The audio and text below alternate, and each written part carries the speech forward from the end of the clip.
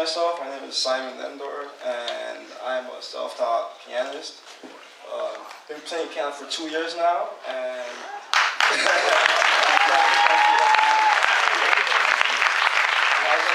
like to thank I for this opportunity to, you know, for the uh, us as musicians to express ourselves in the way that we want to on stage. You know, like a lot of other like opportunities don't come like this often. As you probably would know that when you think of piano, a lot of people think of like playing classical music, like you know Beethoven or Mozart. But I'm not, you know, skilled in classical music. I'm more of a pop R&B type of musician, and just playing that type of music just allows me to express myself in the way I want and allows me to connect with the audience and you know the way I want them to you know feel when they listen to my music. So I'd like to thank I and Asherton for this opportunity and thank you guys for listening.